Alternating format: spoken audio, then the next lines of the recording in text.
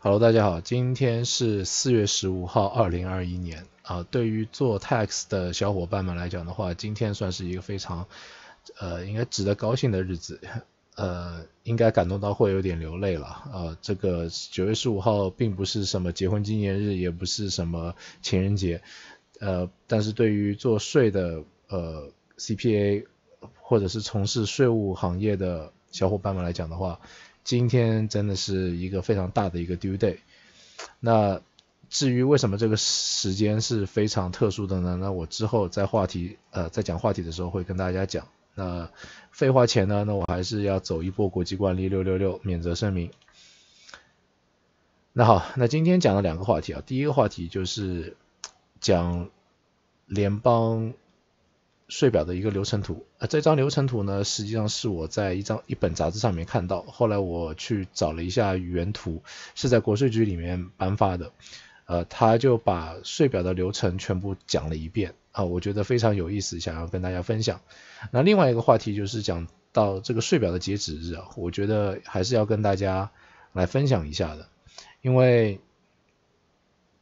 对于从事 tax 从事税务的这一个行业来讲的话，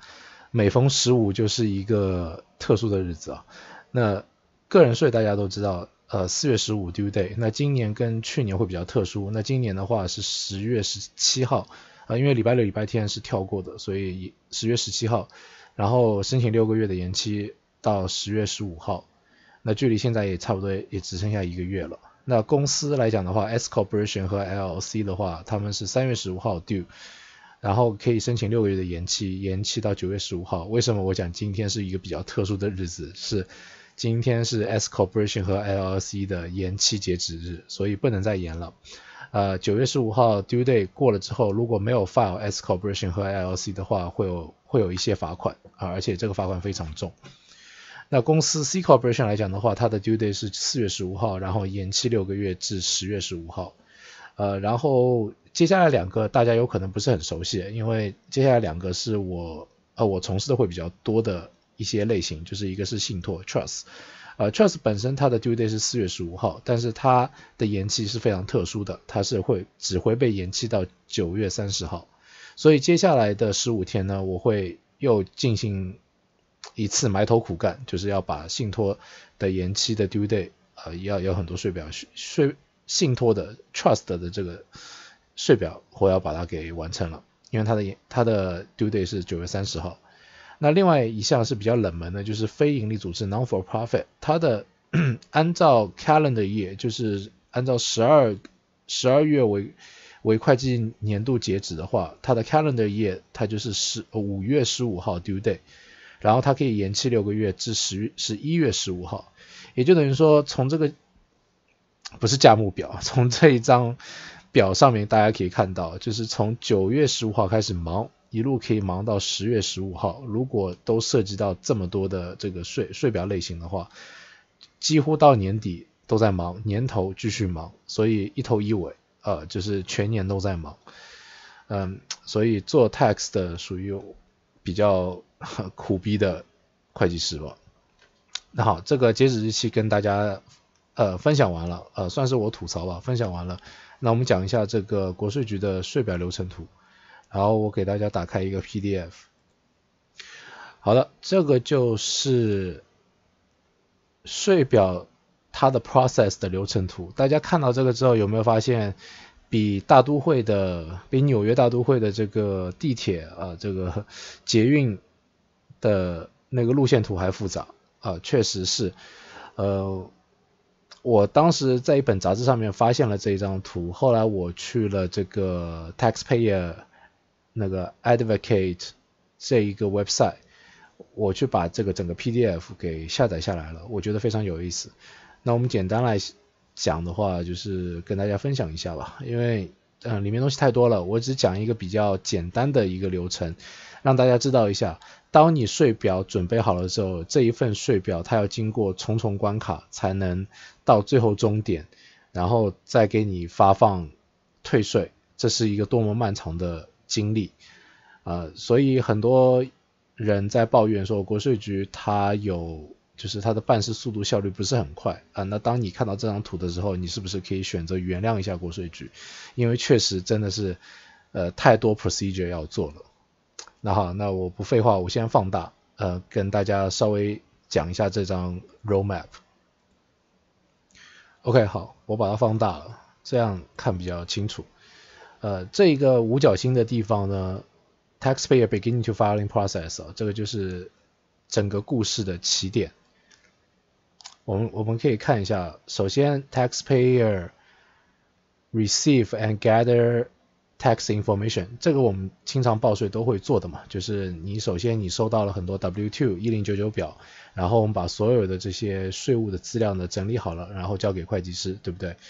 嗯，当然这是他这边写的很非常详细，就是说 taxpayer seeking question to the tax 呃 tax question，他肯定是先先去找会计师去问一些关于税务的问题，哎，会计师某某会计师。呃，我们今年要不要补税？你们帮我预估一下，或者是什么样的？或者是说今年把房子卖了，赚了一大笔钱，股票卖了，呃，那个 Bitcoin 卖了，赚了很多，呃，Tesla 一下子就是 long call 了一一把 Tesla，一下子就是单车变摩托了，啊，这种情况下呢，就是 seeking question to the tax qu，呃，就是 seeking answer to the tax question。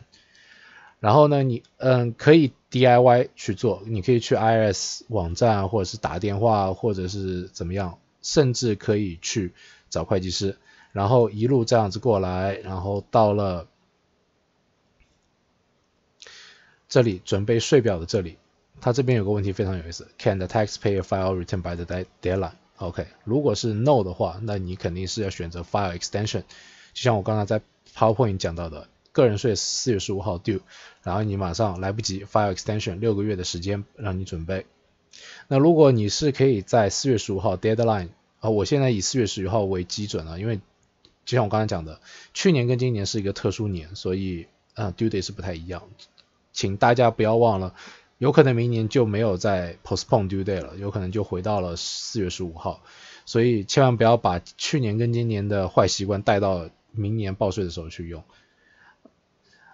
然后呢，这边就是说，哦，如果你可以在四月十五号之前报完税的，那你就往上走，那开始准备税表，然后是呃 paid return prepare 付给你会计师的钱啊，然后 X Y Z 一直往上，然后到了直到 e file，到了 e file 之后，就会又会又会有一个分分水岭，e file 出去之后，如果被 reject 的话，它会退回来，退回来之后重新改一遍，再做一次 e file。如果很顺利的话呢，它就到了下一关，下一个关卡叫做 processing station。然后电脑这些都是可以电脑操作，然后 processing station 就开始 process。如果有发生任何问题会怎么样？IS 会给你发信，呃，CP12 就是 IS 会发的那个，你有做错，你有问题，他会给你发一个 notice，CP12 的 notice，甚至会有其他的一些 notice，然后一路这样子过来。按当当然，我们讲说，如果这个税表是非常顺利的情况下的话，他就一路 process 一路 process 从这里到了 assess 嗯 assessment station。那到了 assessment station 呢，如果你是不欠税的，你而且是有 refund 的话，在这个时候就可以进行 IRS 就会进行操作。那也是要经过三三道关卡，然后最后到了 refund，if any issue to the taxpayer，这个就是我我讲的完美税表，就是完全完全一次性从 filing 到 processing，然后到 assessment 结束，一切都没有问题的。那当然，如果说遇到一些有问题，它的税表上面出现了错误或者是怎么样的话，它就会跟着黄色的橘呃橘色的线。就到了 exam 这里，然后 exam 之之后呢，发现如果没有问题，也还是会回到了 assessment station，然后最后进行一个 balance due，就是你欠税的 process。那你当然肯定，呃，如果是好的话，那有可能就是 no further action，那是最好的 result。如果说出现有一些不好的情况下，从 exam 这这个橘色的框框可以到了 litigation，大家也可以看到，从可以从黄可以从橘色变成了一的蓝色或者是 purple，就是到了 appeal station。啊，一旦到了这种情况下的话，就是比较头疼，然后你的税表有可能卡住。那卡住了之后，就会等到它它这里会有写，就是说你会收到各式各样的 letter，然后你要 make appointment 打电话，或者是去跟呃 IRS 去呃洽谈，然后你要提供一些证据之类的。所以到了 exam 这里的话，当然这个税表就不可能这么快完成了。OK，然后红色的这一个呢是呃。最不好的这个就是一般来讲的话，就进了 collection 啊，就进了就是 IRS 来找你了哈，嗯，他他有可能就是说，呃，从 exam 到了 appeal，发现没有什么结果，然后呢，他又开始 IRS 发现你开始拖欠他的 balance，就是说你你明明是要欠税的，结果没有交，那他会进了这个 collection 的这个 process。然后也是呃非常就是九曲十八弯的这样子，那最终当然也是可以会到终点，那只不过就是 take long time。所以说整张 roadmap 下来的话，大家有没有发现说这个税表能安安全全的从 filing 到 processing，然后能能到国税局不来找你？这一这一道工序下来的话，他们所花的时间确实是要一定的时间。那当然，processing station 现在国税局来讲的话，都已经进入到了一个自动化系统、人工智能的情况。嗯，examination 应该还是有人去审核的，就是有 actual human 啊，真正有国税局的官员去审核的。那一般来讲的话，processing station 它都是已经算是机械化、系统化了。嗯。在这里的话，大家看到之后有有没有会觉得说美国的这个税其实说真的不简单啊？我我这里不是要吐槽哪一个人或者是某一位大神，因为人家比我牛呃就是牛逼的多了呃都是前辈，我我也我也不好吐槽。我只是在某一个视频上面看到呃有一位大师非常非常厉害的大师，呃他非常有自信的跟。跟就是主持人讲说，哦，美国的税其实一点都不可怕。呃，当时我听了之后，我心里咯噔一凉。啊，我们今天不单单不讲税法这个的复杂程度，单单就是讲这个 taxpayer 的 roadmap 所带来的这些 processing 的这个关重重关卡。呃，我不知道他哪里来的自信，可以说美国的税是不复杂的。那不 anyway，因为人家呃赚的钱比我多，人家也是非常一个知名的呃。就是，呃，我不知道他是不是 CPA，但是也是一个非常知名的人物了，所以我也在这边不好点名，我只能说，啊，这位大师有可能，呃，对对这个美国的税表有点误解，就是我我有，或者是他已经非常厉害了，比我厉害，所以他看待这些东西，那美国税法有可能对他来讲非常简单，但是对我这种小辈来讲的话，美国税法真的是很复杂。OK，好，今天我只是九月十五号。呃，有点小兴奋，因为所有的我们公司所有的 staff 大家都去放松了，那我呢就一个人，呃，就是宅在家里面，呃，跟大家录制这个视频，因为毕竟我觉得让大家稍微了解一下你们的税表是怎么样的去 process，如何去安全的到达终点，其实是一个非常漫长的过程，呃，所以。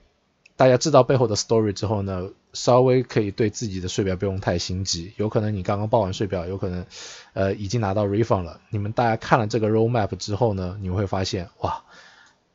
，it's a long way to go。好，那今天视频差不多就讲到这边了，所以也非常短啊，差不多只有十四分钟。那如果喜欢我继续讲这些就是税务的 topic 的小伙伴们，麻烦大家在。视频的右下角点击订阅，然后如果你觉得我这个视频有用，记得分享给大给你的朋友，因为我想让大家更多人去了解一下美国的这个 tax system 怎么运作的，那当然也是希望能帮到大家。那好，那废话不多说，今天就做到这边啊，大家拜拜。